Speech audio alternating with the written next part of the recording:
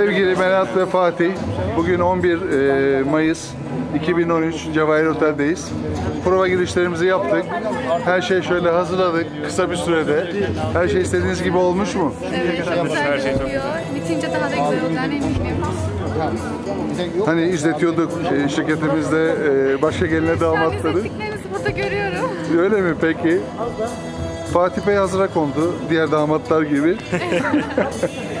Gece sonunda da görüşeceğiz. İyi eğlenceler diliyorum. Sağ olun.